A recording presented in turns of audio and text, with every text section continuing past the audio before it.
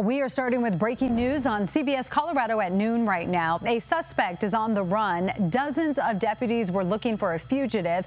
Authorities say Sean Hanneman is considered dangerous with violent tendencies. He's been missing since 2021 and police got a tip about his whereabouts today. Your reporter Justin Adams is joining us near Sandburg Elementary School. This is near where that search was taking place. Justin?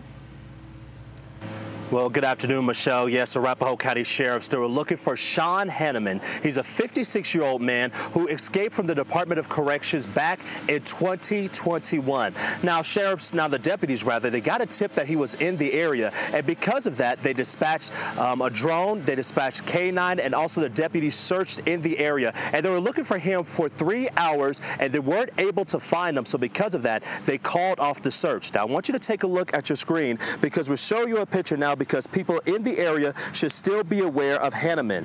He is wanted for a parole violation and has violent tendencies. Hanneman is also known to carry large knives. Deputies were currently searching the area between East Arapahoe Road and East Dry Creek Road, also South University Boulevard and South Colorado Boulevard. Sandburg Elementary School was placed on secure perimeter that has since been lifted. Now, a code red alert, also known as a reverse 911, was issued to residents in the area to shelter in place. And Arapahoe County Sheriff, they say this, if you do see Hanneman, please call 911 immediately. In Centennial, I'm your reporter, Justin Adams, covering Colorado First. Justin, thank you.